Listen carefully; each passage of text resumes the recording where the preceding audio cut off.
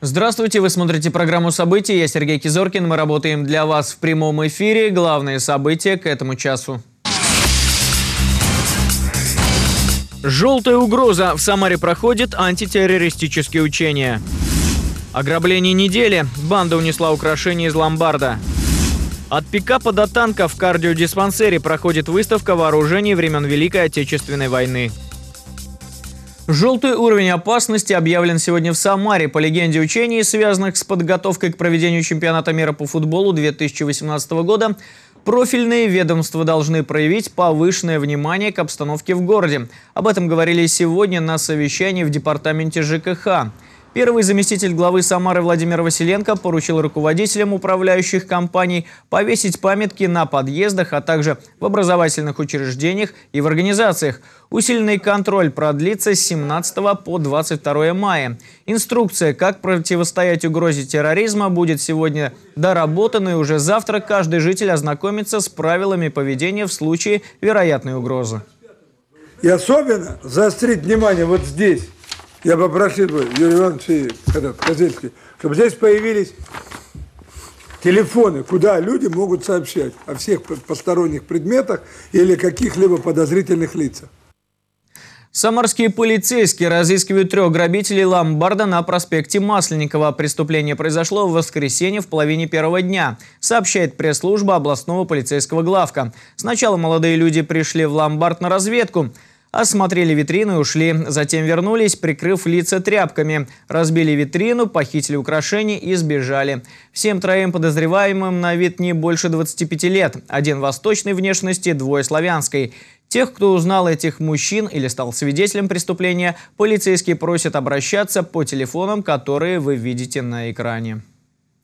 Заместителя главы одного из сельских поселений Самарской области подозревают в получении взятки. Как следует из материалов дела, чиновник получил 160 тысяч рублей от предпринимателя. За это разрешил складировать грунт в котловане без документов. Чиновника задержали в фитнес-клубе Тольятти. При досмотре его машины под ковриком полицейские обнаружили 30 тысяч рублей. В настоящее время Следственным управлением Следственного комитета России по Самарской области возбуждено уголовное дело по части 5 статьи 290 Уголовного кодекса Российской Федерации «Получение взятки». Санкции данной статьи предусматривают до 12 лет лишения свободы. Почти 3 килограмма анаболиков изъяли самарские таможенники. Крупную партию допинга контрабандисты замаскировали под подсолнечное масло и отправили посылкой из Китая. Согласно заключению экспертов, в состав представленных образцов входили сильнодействующие вещества – тестостерон и тренбалон. Заведено уголовное дело в отношении 22-летнего самарца, который получил посылку на почте. Ему грозит реальный срок лишения свободы. Со слов задержанного он знал о том, что данные сильнодействующие вещества ограничены к перемещению на, э, к свободному распространению на территории Российской Федерации и заказывал данные вещества в личных целях. В соответствии с диспозицией статьи 226 прим. 1 гражданину грозит лишение свободы на срок от 3 до 7 лет. Команда Общероссийского народного фронта прошла с инспекцией по самарским дворам. Подготовка к чемпионату мира дает городу шанс стать красивее и удобнее – Помешать созданию комфортной среды может только одно – нежелание жителей принять в этом участие. Впрочем, неравнодушных самарцев все же больше, в чем и убедилась Инесса Панченко. Живет себе пенсионерка, ухаживает за газоном, сажает цветы. Рядом живет предприниматель, приезжает с работы, а машину ставить негде. Бросает ее в соседнем дворе, утром находит с разбитыми стеклами. Ситуация типичная для большинства многоквартирных домов. Мужчина пытается решить проблему с администрацией, договариваться с жильцами, проходят годы, терпение заканчивается, и на месте газона появляется автостоянка. Я проявил инициативу, да. Я взял на себя и финансовую сторону, и организационные все моменты. Да, я проявил инициативу, самовольно это делаю. Понять можно обе стороны конфликта. Между тем, есть несколько вариантов его решения. Существует понятие двойного использования земель, заглубленных мест для автостоянки и одновременного использования поверхности для детских площадок. Задача власти в данном случае не выступить в роли третейского судьи, а помочь жителям разобраться. В силах власти на сегодняшний день значит, привлечь профессиональные сообщества, которые могут показать, не житель же будет рисовать дизайн-проект, но не художник он, не архитектор. Более того, и технологии они не знают, которые могут быть. Значит, нужно предоставить возможность жителям выбрать для того, чтобы все а, а, запросы, которые есть у жителей, учесть. Создание комфортной городской среды с 2017 года является национальным приоритетным проектом. За пять лет все российские дворы должны преобразиться и стать удобными и функциональными. Для исполнения поручения президента создан Центр мониторинга благоустройства городской среды. Команда проекта осмотрела значительную часть Самары. Задача – разработать механизм учета мнений всех жителей. Может быть, где-то недостаточно нормативная база нам позволяет проводить мероприятия по благоустройству. Где-то нам нужно упростить процедуру, например, проведение общего собрания для того, чтобы ускорить процессы а, модернизации жилья, процессы благоустройства придомовых территорий, озеленения, установки а, парковочных мест для автостоянки. То есть подготовить ту базу, которая позволила бы нам действительно создать комфортное жилье, комфортные условия проживания в городской среде для всех категорий жителей. Программа благоустройства запущена, но никакие изменения не произойдут без участия жителей. Именно они должны решить, каким будет их двор и общественная территория. Решение общего собрания должно быть оформлено и направлено в Департамент городского хозяйства и экологии. Инесса Панченко, Максим Гусев. События. Далее коротко о других событиях дня. За минувшую неделю самарские судебные приставы припроводили в международные аэропорты девятерых иностранцев. Граждане Узбекистана, Таджикистана и Азербайджана нарушили миграционное законодательство страны. В связи с этим их депортировали на родину. Как правило, трудовые мигранты въезжают в Россию через контрольно-пропускные пункты, что не требует получения визы. Однако по истечении разрешенных 90 суток пребывания граждане не торопятся добровольно покидать страну. Всего с начала года из Самарской области выдворили 292 нелегальных мигрантов. Из них 125 сами оплатили свою поездку. Граждане, нарушившие миграционное законодательство России, смогут вернуться в страну не ранее, чем через 5 лет. Самарской области сняли карантин по африканской чуме свиней, однако в регионе на полгода сохранится ряд ограничений. Среди них запрет закупки свиней у населения. Напомним, вирус был выявлен в селе Гремячка Хворостянского района, где произошел падеж поголовья. В санитарную зону, кроме Кремячки, вошли Владимировка и Дубровка. У фермеров пришлось изъять и сжечь около 530 свиней. Сейчас региональный Минсельхоз прорабатывает вопрос о переводе частных хозяйств в этом районе на альтернативные виды животноводства. Билеты на скоростные суда «Восход» теперь продают по паспорту или водительскому удостоверению. Ограничения ввели с 15 мая. Они будут действовать по направлениям Самара-Тольятти и Самара-Сызрань. В Самаре на месяц перекроют улицу Шевченко. Дорогу закроют до 15 июня на участке от лейтенанта Шмидта до дома номер 18 по улице Шевченко.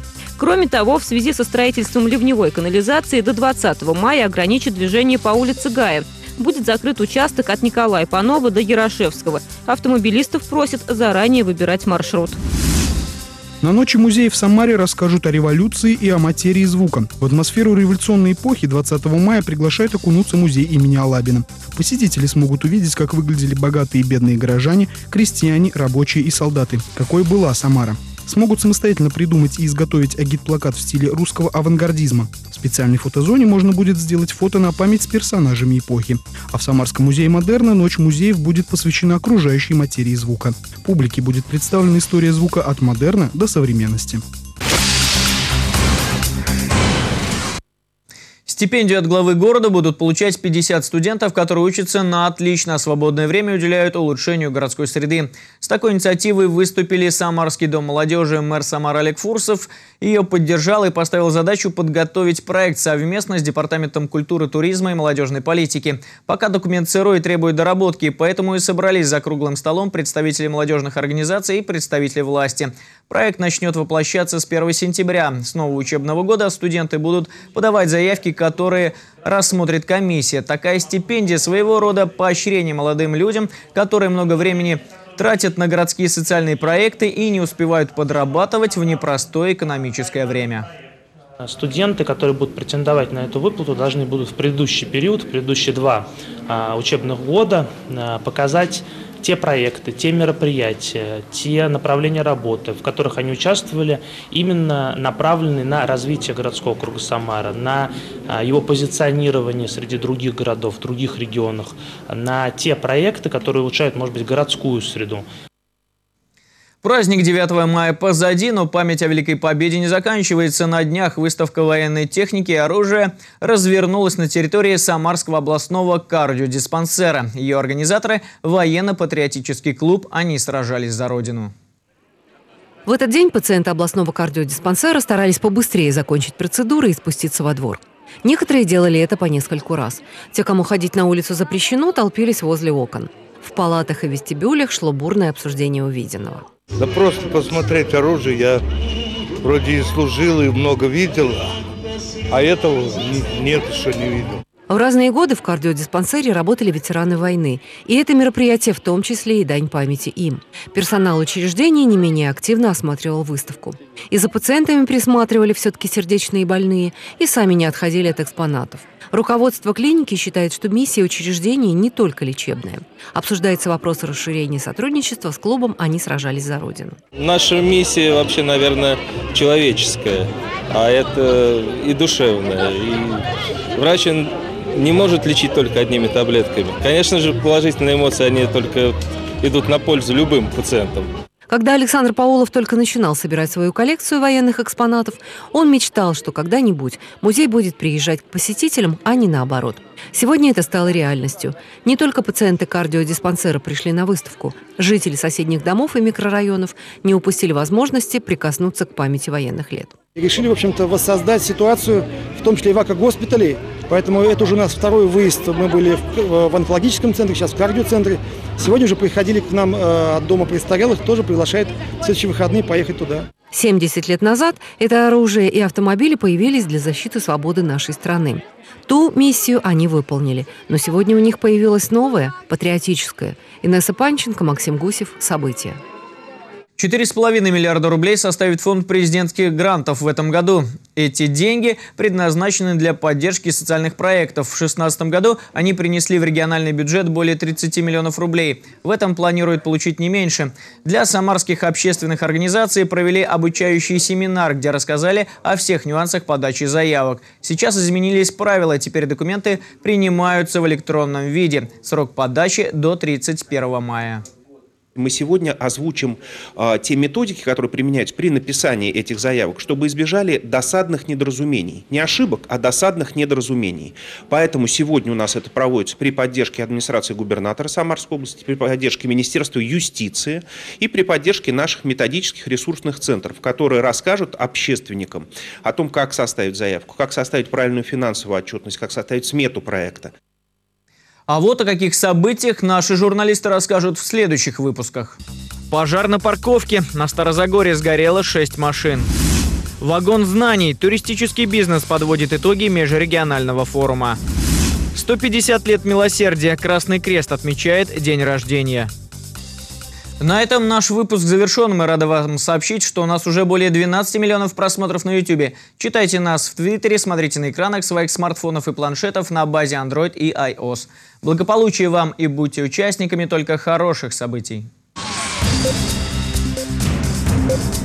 Thank you.